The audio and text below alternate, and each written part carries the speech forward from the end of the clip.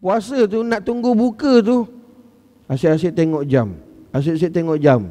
Seolah-olah macam jam tu tak bergerak. Apa salah lama sangat? Tu dulu tuan-tuan. Ya. Jaga sungguh-sungguh. Akhir zaman ni zaman fitnah tuan-tuan.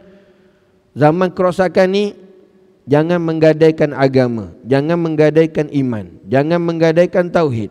Kerana ini anugerah nilaian yang sangat besar Bahkan iman, tauhid itu adalah tiket kita untuk masuk syurga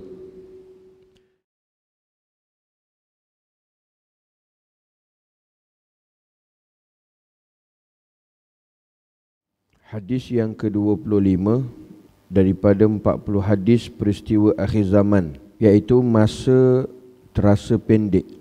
An Anas bin Malik radhiyallahu taala anhu qala قال رسول الله صلى الله عليه وسلم لا تقوم ساعة حتى يتقرب الزمن وتكون السنة كالشهر والشهر كالجمعة وتكون الجمعة كاليوم ويكون اليوم كساعة وتكون ساعة كالدرمة بالنار. رواه الترمذي. Daripada sayyidina Anas bin Malik radhiyallahu ta'ala anhu berkata Rasulullah sallallahu alaihi wasallam bersabda tidak akan terjadi kiamat sehingga masa terasa pendek maka setahun dirasakan seperti sebulan sebulan dirasakan seminggu Seminggu dirasakan seperti sehari Dan sehari dirasakan seperti satu jam Dan satu jam dirasakan seperti satu kilatan api Yang sebentar sahaja.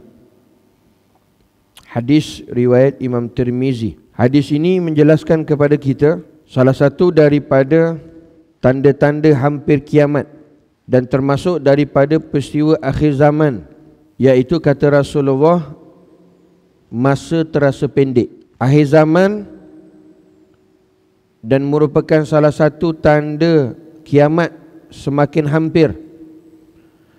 Kata Rasulullah Nanti kamu akan lalui Masa dalam kehidupan Yang mana masa itu Dirasainya sangat singkat.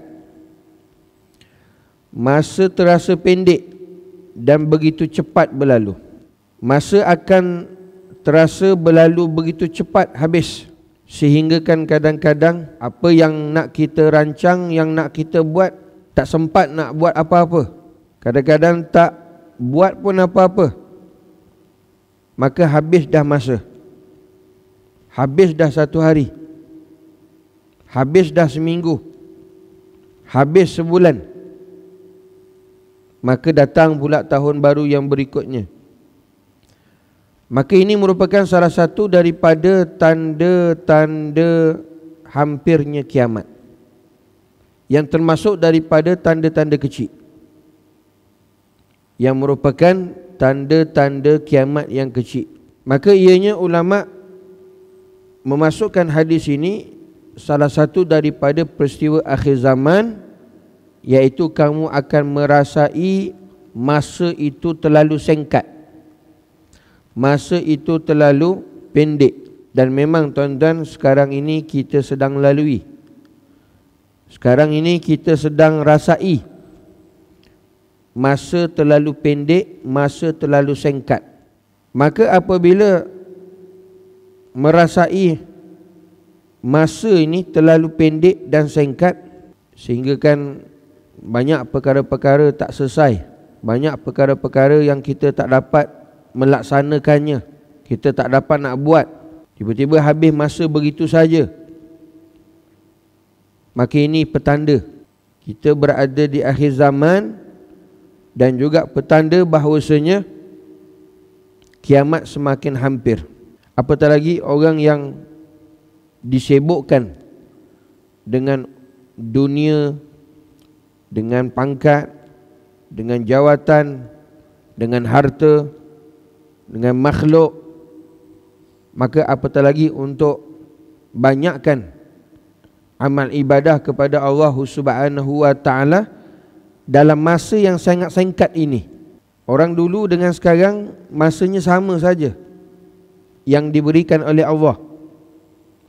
Cuma bila sebagai kita berada di akhir zaman hampirnya dengan kiamat maka Allah Taala akan letakkan rasa yang mana bila kita lalui pada masa tersebut sangat singkat, sangat pendek dan cepat saja berlalu. Seolah-olah nak menyatakan bahawa kadang-kadang dengan apa yang kita nak buat sehingga kan tak sempat untuk diselesaikan nak menunjukkan seolah-olah kita ni terlalu sibuk. Kita terlalu sibuk sehingga kan banyak perkara yang ditinggalkan lantaran dengan dengan masa berlalu begitu cepat sekali.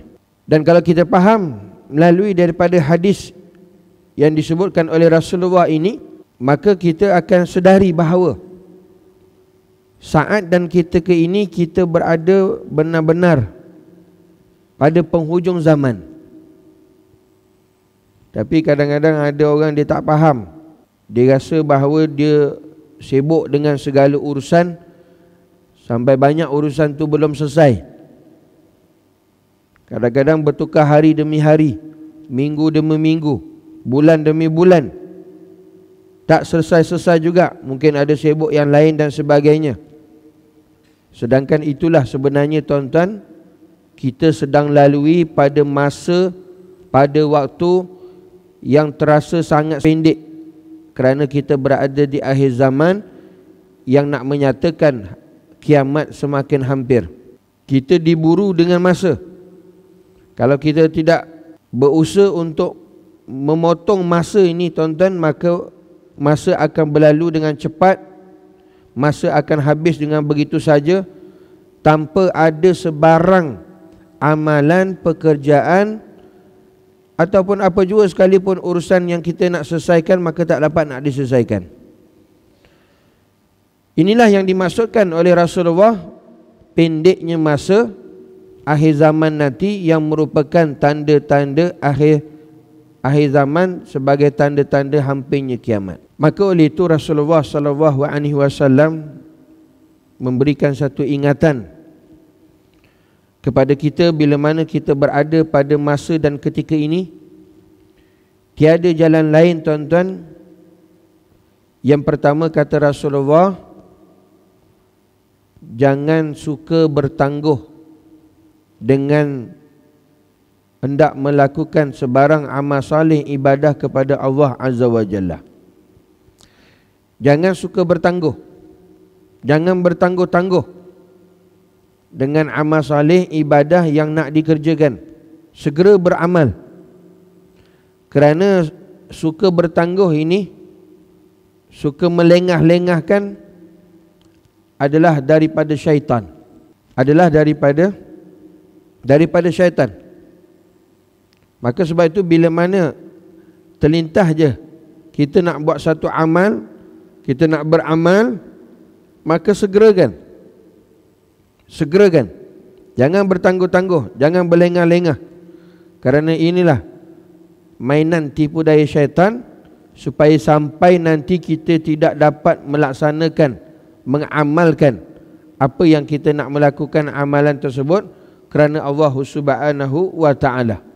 Dan juga kata Rasulullah SAW bila kita berada pada masa dan ketika ini yang masa terasa pendek dan sangat singkat. Kadang-kadang macam-macam tak dapat nak buat, habis masa begitu saja. Maka segeralah kalian beramal. Badirul bil a'ma salih. Kata Rasulullah segera cepat. Kerana masa sekarang semakin cepat dan pantas dan sangat singkat. Maka begitu juga segera beramal. Jangan tangguh. Segera.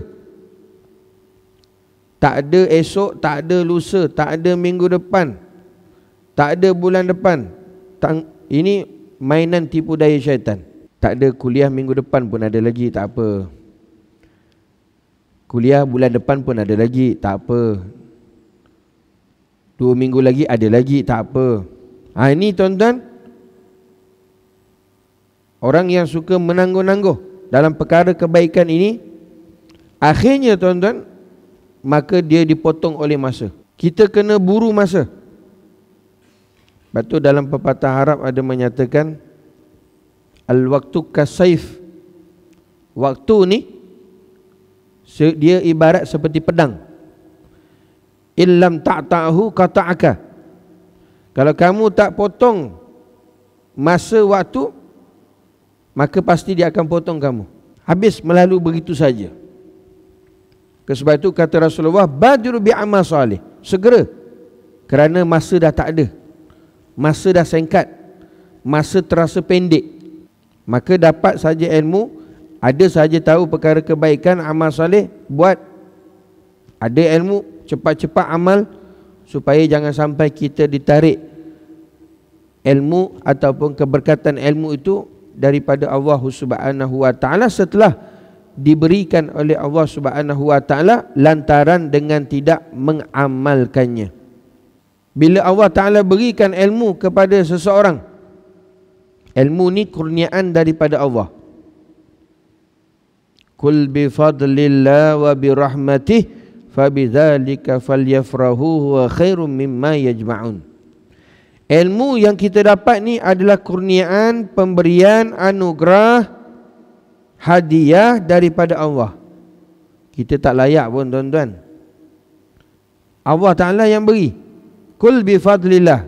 Katakanlah dengan kurniaan Allah. Ilmu yang Allah Ta'ala beri itu merupakan kurniaan daripada Allah bila Allah Ta'ala berikan ilmu maka ilmu ni tuan-tuan dia akan berbisik-bisik dengan kita agar supaya diamalkan ilmu tersebut. Dia akan berbisik-bisik minta tolong supaya diamalkan. Akhirnya bila mana dia bertangguh-tangguh dan sehingga akhirnya dia tidak dapat amalkan ilmu tersebut maka Allah Subhanahu wa taala akan tarik Allah taala akan cabut yang pertama sekali keberkatan ilmu itu. Kemudian Allah Ta'ala akan tarik sir rahsia ilmu tersebut. Kemudian yang ketiga Allah Ta'ala akan tarik hikmah ilmu tersebut. Maka ilmu itu kekal pada diri seseorang tetapi tak ada manfaat, tak ada nilai kerana sudah ditarik keberkatannya, sudah ditarik rahsianya, sudah ditarik hikmahnya. Hanya tinggal ilmu saja. Tetapi tidak diamalkan lantaran tidak ada faedah di situ. Kenapa kata ulama tidak ditarik saja ilmunya?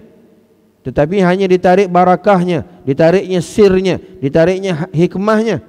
Kerana menjadi hujah di hadapan Allah nanti di hari akhirat Allah Ta'ala tanya Aku bagi kamu ilmu ini Tetapi kamu tidak mengamalkannya.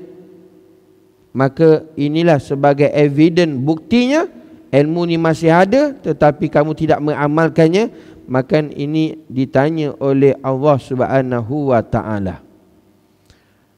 Apatah lagi masa sekarang kita berada yang sangat singkat Sangat cepat. Kita diburu masa Masa berlalu dengan cepat sekali.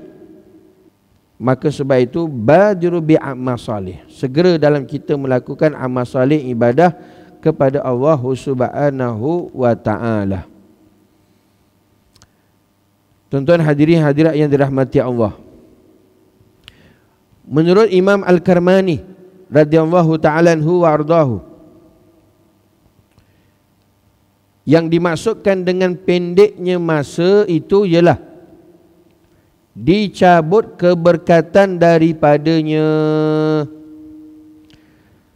Kata Al-Imam Al-Kalmani Karmani rahimahullahu taala apa maksud yang daripada hadis ini? Kata Rasulullah ya takarrabaz zaman.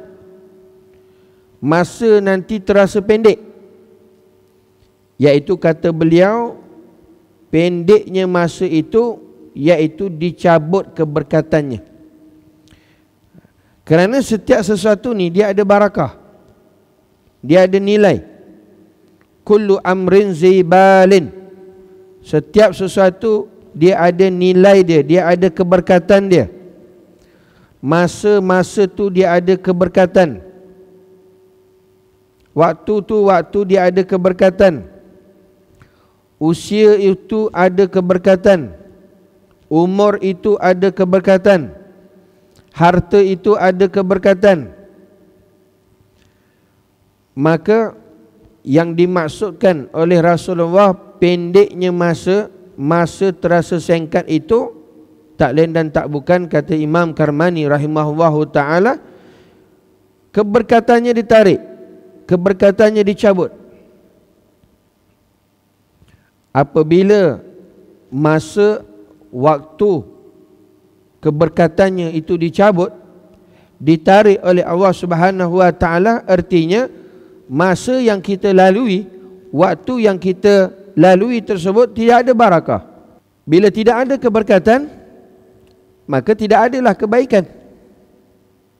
Tidak ada kebaikan-kebaikan yang kita perolehi dalam masa-masa waktu-waktu yang keberkatannya sudah ditarik, sudah diangkat, sudah dicabut oleh Allah Azza wa Jalla. Tak ada kebaikan tuan-tuan. Kerana bila sesuatu perkara itu ada barakah, ada keberkatan, termasuk masa itu ada barakah, yazidu bil khair maka banyak bertambah bertambah bertambah kebaikan-kebaikan kebaikan yang kita dapat dan tanda salah satu tanda masa kita itu barakah ada keberkatan iaitu kata ulama bahawasanya segala perkara urusan itu kita dapat laksanakan dapat amalkan dapat dilakukan pada masa yang tersebut walaupun masa dan waktu tersebut terasa singkat itu tanda masa waktu itu adalah ada lagi keberkatan. Ada lagi barakah. Walaupun terasa singkat, pendek tapi masa dan waktu tersebut ada barakah lagi tidak diangkat, tidak dicabut lagi oleh Allah iaitu segala urusan kita dapat buat tuan-tuan. Segala amalan kita dapat laksanakan. Masya Allah tabarakallah Seperti mana golongan-golongan yang diberikan oleh Allah subhanahu wa ta'ala Para salifus salih Para para masyaih, ulama-ulama Serta para wali min awliya ilah Masanya sama. Tetapi Masya Allah tabarakallah Tuan-tuan tengok dia punya amal ibadah dia kepada Allah. Waktunya sama. Memang terasa singkat Tetapi barakahnya masa tu keberkatan tu tidak diangkat oleh Allah Ta'ala pada masa maka banyak kebaikan-kebaikan dapat buat para kekasih Allah. Zikir bukan macam kita zikir tuan-tuan. Kan? ribuan. Bukan seratus bukan lima ratus bukan seribu. Bahkan sepuluh ribu lima belas ribu. Satu hari. Kita nak sampai seratus pun macam Bagai nak gerak tuan-tuan. Itu pun rasa Allah banyaknya. Tak. Nak selawat pun nak sampai seratus pun Tertidur. Masa sama. Sebab apa? Keberkatan tu penting. Setiap apa jua sekalipun sebenarnya Yang namanya barakah itu sangat penting. Kita nak keberkatan tuan-tuan. Dengan setiap amalan, pekerjaan yang dilakukan itu kita nak dapatkan keberkatan. Dan akhir zaman sebenarnya salah satu apa yang diangkat oleh Allah Ta'ala itulah namanya keberkatan akhir zaman salah satu nanti perkara yang diangkat dicabut oleh Allah Ta'ala adalah keberkatan dan salah satu daripada dicabut keberkatan dalam kehidupan seseorang bila mana dia tinggalkan menuntut ilmu. Bila mana dia jauhkan dirinya dengan alim ulama. Bila mana kehidupannya jauh daripada kehidupannya Rasulullah. Bila mana kehidupannya meninggalkan perintah Allah Subhanahu wa taala tidak berdamping dengan orang-orang yang saleh maka kata Rasulullah yurfa'ul barakah min kasbihim Allah Ta'ala akan angkat keberkatan daripada apa yang dia usahakan. Artinya, apa yang dia lakukan, apa yang dia usahakan, apa yang dia kerjakan, semua itu tak ada keberkatan. Semua diangkat, dicabut oleh Allah Subhanahu Wa Ta'ala dalam apa yang diusaha. Serba tak menjadi, tuan-tuan. Lantaran dengan perkara-perkara tersebut. Hadirin hadirat yang dirahmati Allah. Memang benar apa yang dikatakan oleh Imam Karmani ini. Dulu kita rasa dalam sehari itu banyak sebenarnya urusan hal yang dapat kita buat. Dulu-dulu dah tuan-tuan. Kalau kita kalau ingat lagi dulu-dulu kan 70-an, 80-an dah. Banyak urusan dapat buat. Dan kadang-kadang nak tunggu raya tu Ya Allah lama lagi nak raya. Lama. Kalau satu hari tu lama nak sampai malam. Tak Dulu-dulu hak kalau puasa tu Ya Allah bila nak berbuka ni? Sungguh tuan-tuan. Tak Orang lama-lama tahulah Puasa tu nak tunggu buka tu Asyik-asyik tengok jam Asyik-asyik tengok jam Seolah-olah macam jam tu tak bergerak. Apa salah lama sangat? Tu dulu tuan-tuan. Ya. Dan banyak urusan dapat buat. Banyak urusan dapat dapat dilaksanakan. Tapi sekarang tuan-tuan, sekarang ni apa yang disebut oleh Al-Imam Karmani rahimahullahu taala yang katanya dicabutnya keberkatan daripada masa tersebut, masa tu terasa singkat dan pendek tapi sekarang kita lihat dalam sehari tuan-tuan apa yang boleh kita buat? Dalam sehari yang masanya sama, harinya sama hanya sedikit saja amalan, urusan, pekerjaan yang dapat kita laksanakan. Apatah lagi yang suka bertangguh, bertangguh, bertangguh. Langsung tak buat langsung tuan-tuan. Inilah isyarat sebenarnya.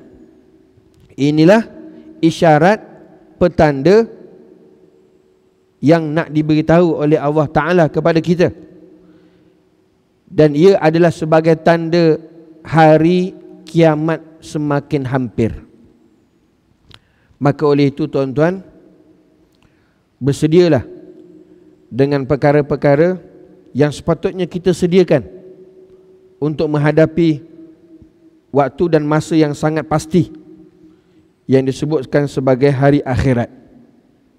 Dan semua orang akan lalui. Dan sebaik-baiknya orang yang bijak hidup atas dunia ini adalah yang mempersiapkan bekalannya untuk menghadapi hari akhirat yang pasti dia akan sampai ke sana. Maka persiapkanlah bekalan secukupnya bahkan selebihnya jangan apatah lagi tak sempat untuk menyiapkan bekalan kita dah sampai dah pada hari akhirat.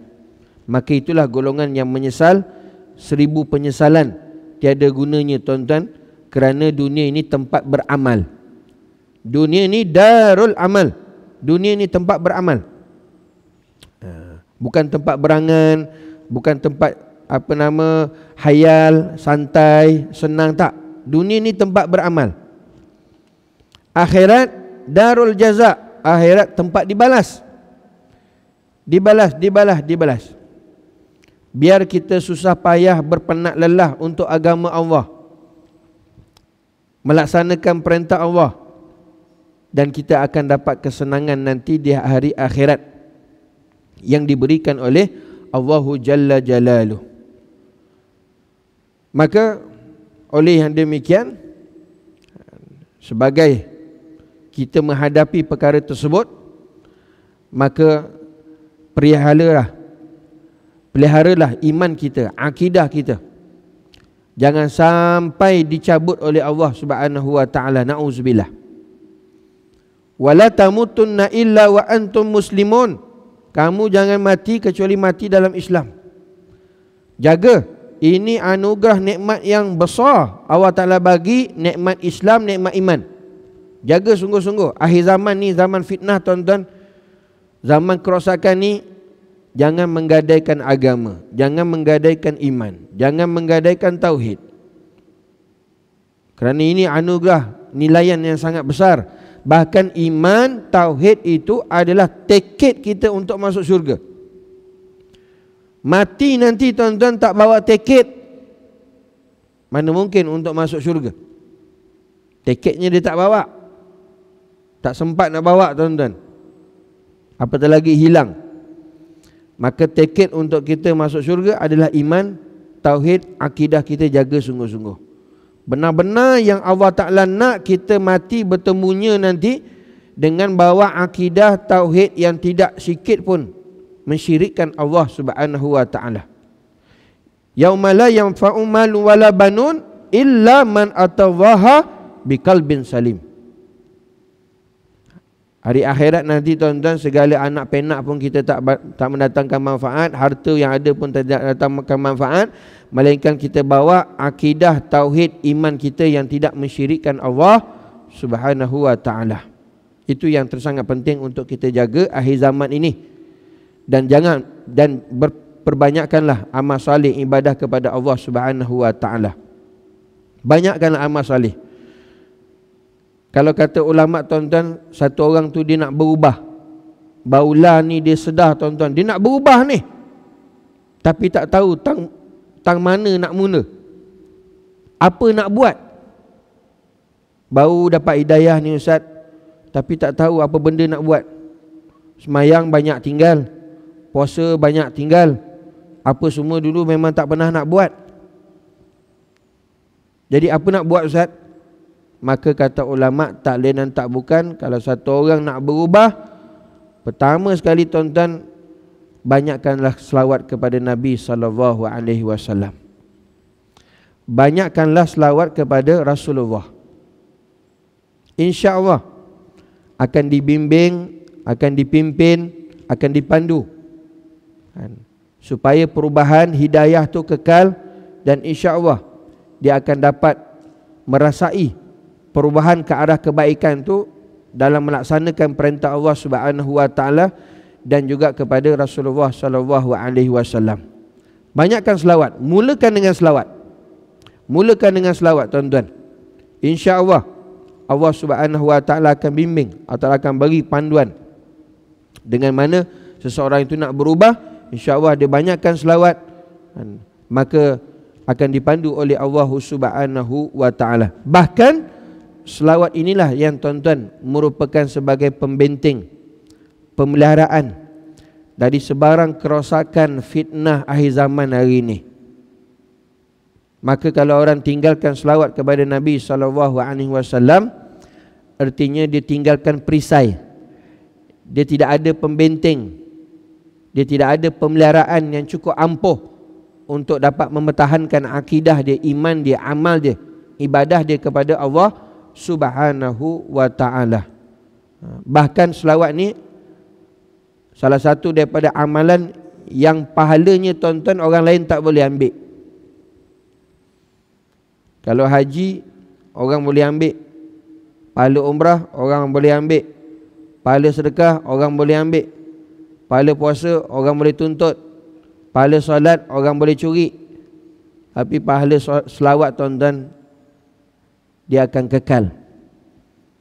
Kekal Dan tiada seorang orang pun yang boleh akan ambil pahalanya. Pahala selawat tersebut. Maka beruntung orang yang dianugerahkan, dikurniakan, dihadiahkan oleh Allah Subhanahu Wa Taala ditenggelam dalam selawat kepada Nabi Sallallahu Alaihi Wasallam. Itu anugerah tuan-tuan. Kita tak layak pun.